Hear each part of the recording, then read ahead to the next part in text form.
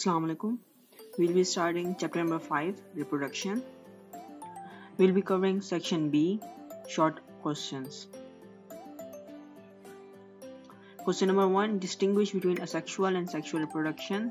दोनों के बीच में डिफरेंस बताना है asexual reproduction के अंदर there is no male and female gender से कोई कॉन्सेप्ट नहीं होता सिर्फ़ एक ही पेरेंट होता है उसके अंदर जो बच्चे होते हैं वो पेरेंट्स से बहुत ज़्यादा पेरेंट्स की बिल्कुल एग्जैक्ट कॉपीज होते हैं। इनकी जेनेटिक्स भी सेम होती है और इनके अंदर कोई क्रॉसिंग ओवर या जेनेटिक रिकॉम्बिनेशन यानी एक्सचेंज ऑफ़ डीएनए नहीं होता। जबकि सेक्सुअल रिप्रोडक्शन के अंदर मेल एंड फीमेल यानी फादर और मदर सेल्स दोनों की ज़रूरत होती है। इसमें दो डिफरेंट पेरेंट्स होते हैं और इसके अलावा जो बच्चे होते हैं वो पेरेंट्स से मिलते जुलते नहीं होते, उनमें डिफरेंसेस पाए जाते हैं और इसके अंदर जेनेटिक रिकॉम्बिनेशन यानी कि वेरिएशन नज़र आते हैं। डिफरेंस नज़र आता है between the parents and the child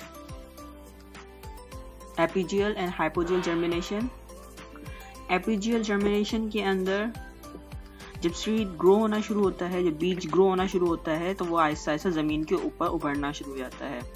इसके अलावा जो सीड ऊपर आ जाता है तो उसका जो कवर होता है दैट इज़ कॉटिलडॉन वो ग्रीन हो जाता है और वो खुद जो है पत्ते की शक्ल में आ जाता है ऊपर। जबकि हाइपोजियल में जो सीड है, वो ज़मीन के अंदर ही रहता है, पूरा वक्त जर्मिनेशन के अंदर। वो जर्मिनेशन के वक्त वो नीचे ही रहता है और कॉटिलोडॉन यानी सीड कवर का जो कलर है, वो तब्दील नहीं होता। वो अपना जो ओरिजिनल कलर है, वो मेंटेन रखता है। Question number two we have is draw a neat and label diagram of T S of angiosperm flower ये आपका फ्लावर आपकी बुक में गिवन है, ये फिर जिस draw it and label it question number three how does a new plant develop with an already growing plants एक plant जो पहले से ग्रो हो रहा है, उसी के हिस्से में से न्यू प्लांट किस तरह से उभर के आ सकता है? इसके दो तरीके होते हैं। एक वेजिटेटिव यानी जब प्लांट खुद ही उसका कोई रूट स्टेम सकर या लीफ इनमें से कोई भी एक पार्ट जो है, जब वो अलग हो जाता है उसके वो लाइक पत्ते जब लाइक जब रूट्स गिर जाते हैं या टूट जाते हैं या स्टेम गिर जाता है तो वो जो है खुद न्यू प्लांट बन जाते हैं। कुछ ऐसे प्लांट्स होते हैं जो, जिनके रूट्स में से स्टेम में से और लीव्स में से न्यू प्लांट उभर के आ सकते हैं। तो वो जब वो खुद ही गिर जाते हैं ज़मीन पे तो वो जब न्यू प्रोडक्शन करते हैं प्लांट की तो उसको हम वेजिटेटिव प्रोपोगेशन कहते हैं। लेकिन अगर इंसान जो है रूट्स को स्टेम को, सक, या लीव्स को जो है, वो काट के, वो खुद ज़मीन में डाल के उसको उगा रहा है then that is known as artificial vegetative propagation यानी वेजिटेटिव प्रोपोगेशन में प्लांट का खुद ही पार्ट जो है, वो गिर जाता है and then it goes on with natural process लेकिन आर्टिफिशियल वेजिटेटिव प्रोपोगेशन में क्या होता है, इंसान उसमें जो है इंटरफेयर करता है, इंसान खुद काट के उसको डाल देता है ज़मीन में ताकि उसमें से न्यू प्लांट उग सके। So that is vegetable propagation जो नेचुरली होता है एंड आर्टिफिशियल वेजिटेबल प्रोपोगेशन में इंसान करता है।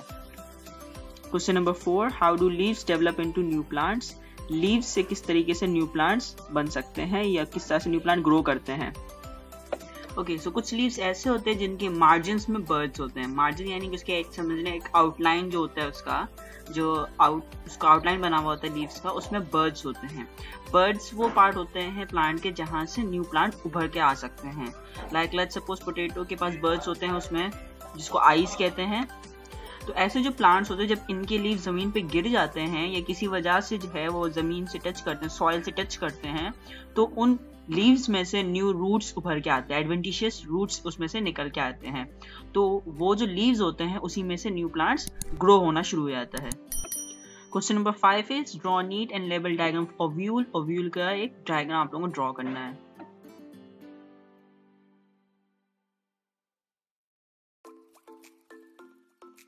Question number six draw neat and label diagram of male gametophyte of angiosperm angiosperm का जो मेल गेमेटोफाइट है, उसकी हमें डायग्राम ड्रॉ करनी है और मेल गेमेटोफाइट जो होता है दैट इज़ पोलन ग्रेन तो यानी बेसिकली हमें पोलन ग्रेन की पिक्चर ड्रॉ करनी है।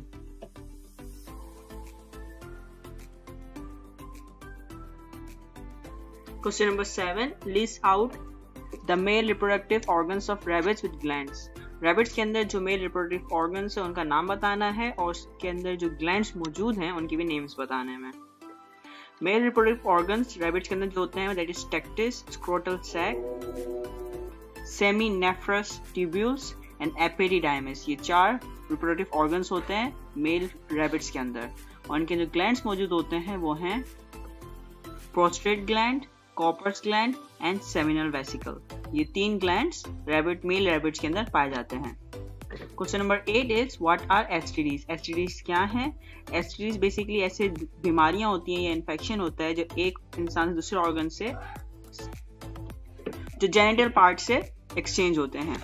इनके एग्जाम्पल्स हैं AIDS that is autoimmune disease यानी इसमें क्या होता है कि आपके इम्यून सिस्टम जो है वो अफेक्ट होता है and syphilis question number nine why is population control consider important for prosperous society एक सोसाइटी को प्रॉस्पर होने के लिए, उसमें डेवलपमेंट लाने के लिए पॉपुलेशन पे कंट्रोल करना क्यों इम्पोर्टेंट होता है?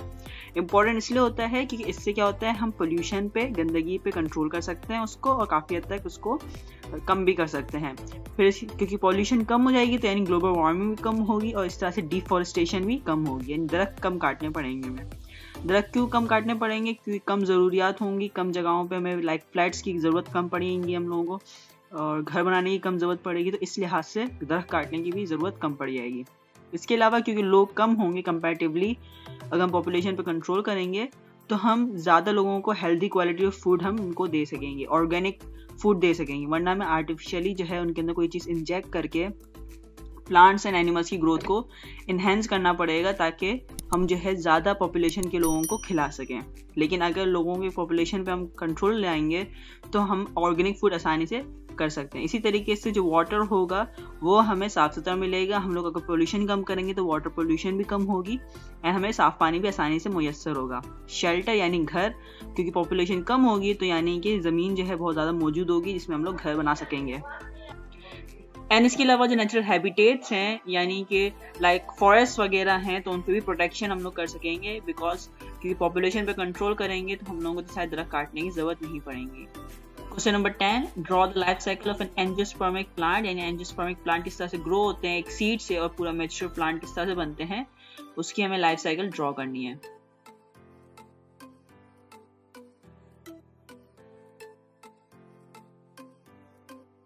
एंड इस तरह से आप लोगों के सेक्शन भी शॉर्ट आंसर्स के जो टेन क्वेश्चन हैं। दे हैव बीन डन अल्लाह हाफिज़।